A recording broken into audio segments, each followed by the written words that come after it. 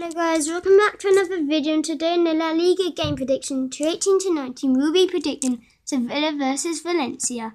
So I think Nolito, who used to play for Man City, to score in the 16th minute to make it a 1-0 Sevilla win.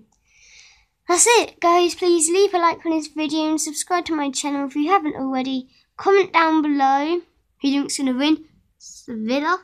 Turn on that notification bell so you never miss an awesome video. Also comment down below who's your favourite player.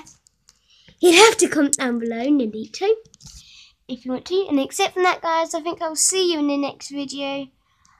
Bye for now.